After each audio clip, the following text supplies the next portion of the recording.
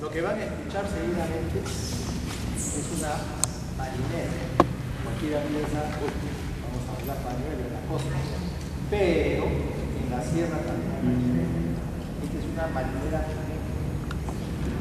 bonita, interesante. Marinera no solamente de la costa. Y se destaca por los barcos.